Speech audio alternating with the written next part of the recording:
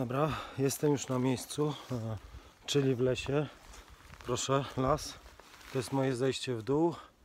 Muszę Wam powiedzieć, że jest dość, e, no dość ostro. O, proszę, co znalazłem. Nie wiem, czy widać. Co to będzie? No, jak nic, e, borowik.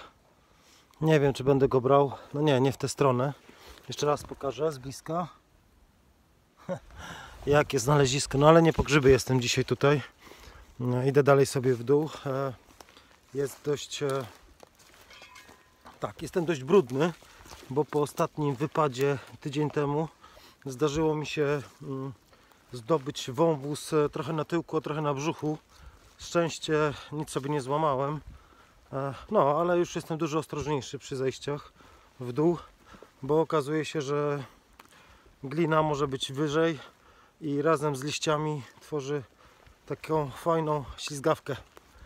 Dobra, także idę w dół, e, ale to co chciałem powiedzieć e, to to, że teraz a propos e, mojego doświadczenia z Forexem, to to, że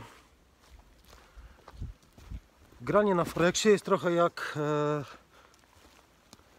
robienie, usprawnianie właściwie czegokolwiek i jeżeli chcesz grać, to musisz być. Oczywiście, jeżeli grasz, no to już masz swoją wiedzę, ale jeżeli rozpoczynasz, to musisz mieć świadomość, że trzeba być bardzo cierpliwym i generalnie w przemyśle, ale naprawdę w większości rzeczy, które robimy, zasada jest zawsze taka sama. Musisz określić sobie, albo powinieneś określić, powinnaś określić sobie jakiś stan początkowy, czyli co chcesz robić, jak chcesz to robić, a potem musisz to mierzyć e, w rozsądny sposób, żeby mieć pewność, że mm, Twoje liczby czy wykresy pokazują Ci dokładnie to, co sobie zdecydowałaś lub zdecydowałeś, a potem jak już to robisz, to musisz to powtarzać i sprawdzać, czy rzeczywiście działa i czy masz wyniki. Jeżeli będziesz mieć wyniki dobre, to znaczy, że ok, jesteś bezpie- po bezpiecznej stronie. Jeżeli gorsze, no to trzeba coś poprawić. Teraz tylko pokażę. O właśnie o takich liściach mówię. To jest moje zejście z góry. E, O takich liściach mówię. Bardzo łatwo się na nich poślizgnąć. E, Poślizgnąć, poślizgnąć. Sprawdzę potem w słowniku.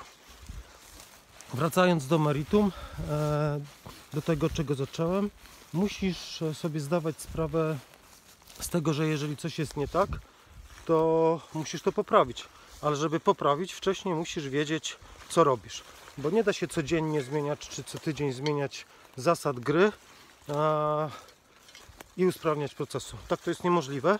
Musisz coś wybrać, powtarzać to, zobaczyć, jakie są wyniki i potem w zależności od wyników zdecydować, na przykład poprawić jakiś element Twojego systemu tradingu i znowu to mierzyć i znowu poprawiać.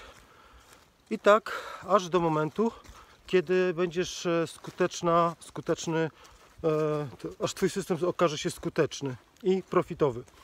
Dlatego bardzo, bardzo ważne jest zaczynać od demo i ćwiczyć na demo.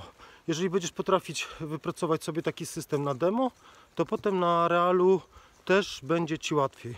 Dlatego zdecydowanie zachęcam demo i ćwicz swój system. I nieważne od kogo weźmiesz system, jakie zasady, i tak będziesz musieć go, musia, musiał, musiała przećwiczyć go sama dla siebie, bo nie ma systemów e, uniwersalnych dla wszystkich. Każdy system jest na koniec przez tradera w jakiś sposób dopasowany do, swoj, do swojego stylu gry. Także pamiętaj o tym, e, że najważniejsze właściwie nie jest to, żeby kupić e, kolejny system, jak ci poprzedni nie działa. Tylko ćwiczyć ten, który ci nie wyszedł e, i ćwiczyć siebie. Bo w końcu znajdziesz e, zasadę, dlaczego, ci ona, dlaczego on nie wychodzi i będziesz potrafić e, samodzielnie to poprawić bez kupowania kolejnego systemu. Dobrze jest mieć oczywiście system, który już u kogoś działa, który jest prosty, który jest łatwy do zrozumienia. Natomiast kluczowe jest to, żeby opisać go dla siebie, a potem go pomiarować i ćwiczyć. E, I nie zrażać się że tym, że na przykład coś nie wychodzi ci przez chwilę, bo czy przez chwilę w sensie tydzień, dwa, czasem miesiąc, czasem kilka miesięcy, bo na tym polega szukanie Twojego własnego stylu, systemu i zdobywanie wiedzy. Także to Ci chciałem powiedzieć, bo tak, tak samo się dzieje na produkcji. Możesz sobie sprawdzić, co to znaczy Six Sigma.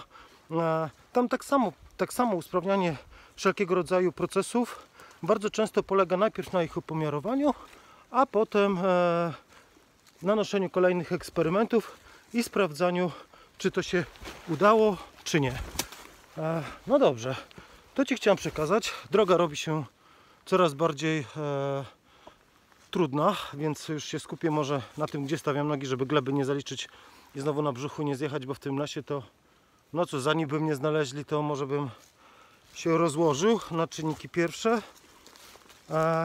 No może nie, chociaż tu nie wiem, GPS-u pewnie, GPS pewnie nie działa.